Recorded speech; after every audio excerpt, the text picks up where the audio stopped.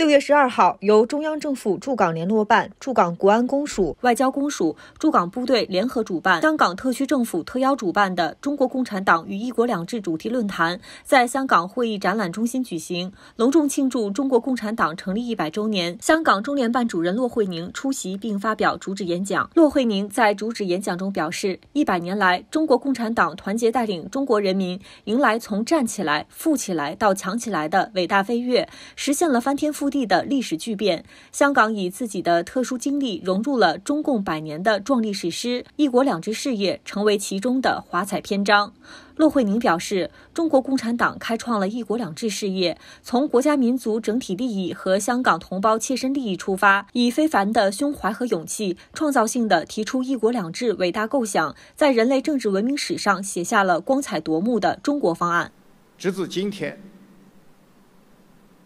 我们依然可以如此发问：世界上还有哪个执政党会允许在一国之内实现两种社会制度？一国两制的伟大创举，改变了历史上但凡收复失地就要大动干戈的所谓定势。是中国共产党人充满政治智慧的时代创造，在人类政治文明史上写下了光彩夺目的中国方案。骆惠宁指出，中国共产党发展了一国两制事业，领导香港一国两制事业在探索中不断前进，特区宪制基础愈加完善，国际影响力日益提升，抵御了金融危机等风险，使香港在各种风雨来袭时始终坚挺不倒。我很想知道，那些在回归前断定香港已死的西方媒体，该如何解释香港？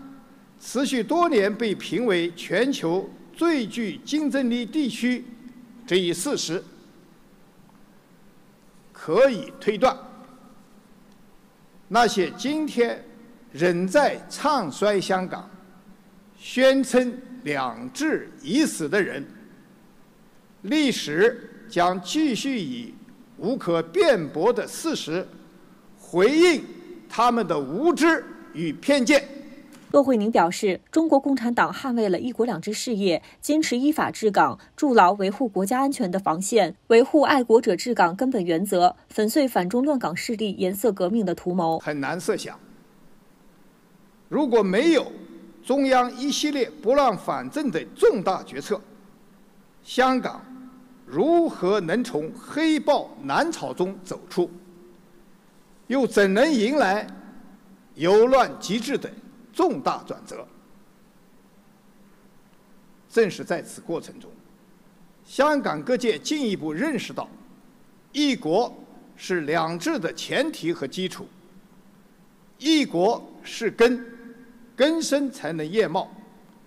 一国是本，本固才能滋荣。骆惠宁指出，历史记录过去，也镜见未来。推进“一国两制”事业，必须坚持和维护中国共产党的领导。没有谁比中国共产党更深切懂得“一国两制”的价值。没有谁比中国共产党更执着坚守“一国两制”的初心。维护中国共产党的领导。就是维护“一国两制”，就是维护宪法和基本法确定的特别行政区宪制秩序，就是维护香港的光明前途和香港同胞的根本福祉。骆惠宁指出，推进“一国两制”事业，必须不断完善同宪法和基本法实施相关的制度和机制。过去二十四年，中国共产党不断丰富发展。一国两制理论和实践，将一国两制从治国理政的崭新课题和重大课题，提升为中国特色社会主义的基本方略和显著优势。面向未来，中央将继续坚持和完善“一国两制”制度体系。香港与宪制秩序相关的制度机制，有效的要坚持，缺失的要修补，跑偏的要纠正，过时的。要更新。骆惠宁表示，推进“一国两制”事业，必须推动香港更好融入国家发展大局，特别是国家构建新发展格局、深化粤港澳大湾区建设、实施“十四五”规划，更为香港创造了不容错失的重大机遇。只要在国家发展大局中找准定位，扮演更积极角色，香港。定能培育新优势，发挥新作用，实现新发展。